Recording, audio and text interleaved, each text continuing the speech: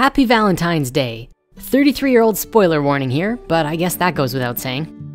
Now to start it off, The Princess Bride is a story within a story. And if we go deep enough, it's a story within a story within a story within a story, inviting us to look deeper at our own lives and to break free of the attachments to the life stories we live out on a day-to-day basis and learning to identify at a higher level. But the main focus of The Princess Bride is two main points, a story of true love and all of the ways that true love manifests, and a story of sovereignty. On its surface, The Princess Bride appears like a fun take on the traditional damsel in distress narrative. Girls in trouble, guys gotta rescue her.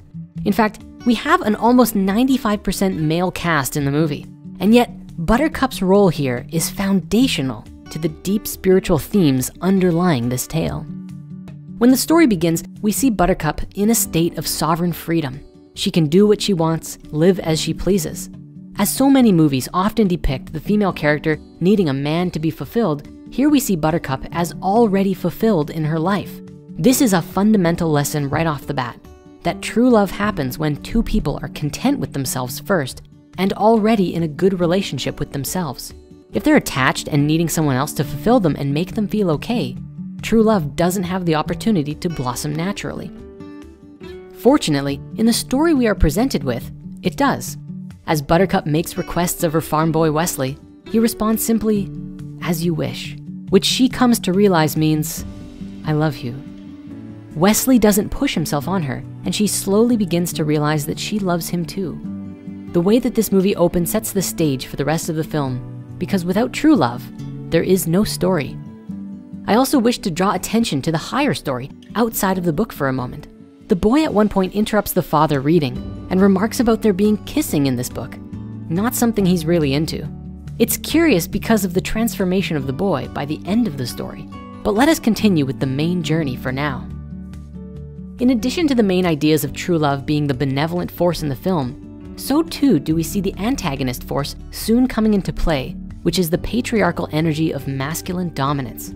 This energy is made manifest personally in Prince Humperdinck and Count Rugen. And in a way, it also manifests in Westley. We see shortly after we're introduced to these characters, Westley goes off into the world to seek his fortune so that he can provide a good life for Buttercup and himself. While this appears to be a noble cause on the surface that drives the plot, we also must ask, why couldn't they do that together? From Westley leaving, it sets the stage for Buttercup to be thrust into this same masculine dominant world as she discovers that Westley was killed by the dread pirate Roberts, and several years later, ends up soon to be married to Prince Humperdinck. A man who does not value her as a person, seeks to control her, manipulate her, and even kill her, all in the name of his own personal gain. This is why sovereignty is actually at the heart of this story, as we see the plot focus on and spiral around various masculine forces attempting to capture or dominate the feminine and the masculine. On the other hand, as Westley seeks to rescue his damsel, what he is fighting for is not her specifically, but her right to choose, her freedom and her sovereignty. Buttercup herself also represents a more active participant in this. While she does seem powerless against the might of Humperdinck's forces, she is not silent and accepting of the fate that is thrust upon her, but is brave, courageously speaking up for the truth and what she really wants. A continued thing that is brought to our attention throughout the entirety of the film is that in his heart, Westley loves Buttercup. And it's this love in his heart that keeps him motivated and able to overcome any obstacle, whether it's fencing with Inigo, surviving the terrors of the fire swamp, or being tortured to maximum limit break overdrive. In all of these circumstances, the love in his heart never goes out, even when he dies. We see this spiritual lesson here because even if it's romanticized in the movie, many traditions teach us the virtues of love and that love itself is one of, if not the greatest force in the universe. If we have love in our hearts, we will steer our lives straight and true. And this movie can help to remind us to connect with that inner love so that we too may overcome the obstacles we face in our daily lives. In addition to the true love that blossoms between Westley and Buttercup, we also see love manifesting throughout the film in another way, in the form of brotherly bonding. This is also important to discuss, especially for Valentine's Day, because many of us in the world have not found that perfect partner yet. And what's more, not everyone even wants that to begin with.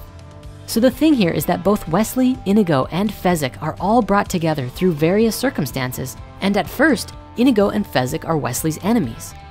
Nevertheless, the enemies become friends and they set off to right some wrongs together. It's through their shared companionship that they're able to accomplish things that would have been much more difficult to do on their own. Without Inigo and Fezzik, how would Westley have come back to life? Without Westley, how would Inigo have found the six-fingered man? Through scenes like these, we are reminded of the spirit of human connection and that when we band together for a noble cause, This is noble, sir. great challenges become even easier.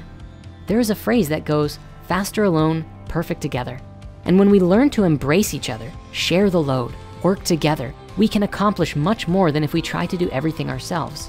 While the first half of the film was more of a solo journey, the second half is about the journey together and the companionships we make along the way, which are just as important. Speaking of Inigo, we find that he demonstrates to us the power of affirmations.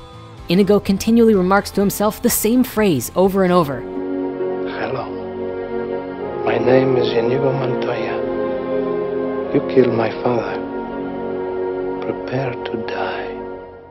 The fact that he continuously tells himself this, he is preparing himself and keeping himself focused on his goal of defeating the six-fingered man. He affirms to himself over and over, this is my destiny, this is my fate, I will avenge the death of my father.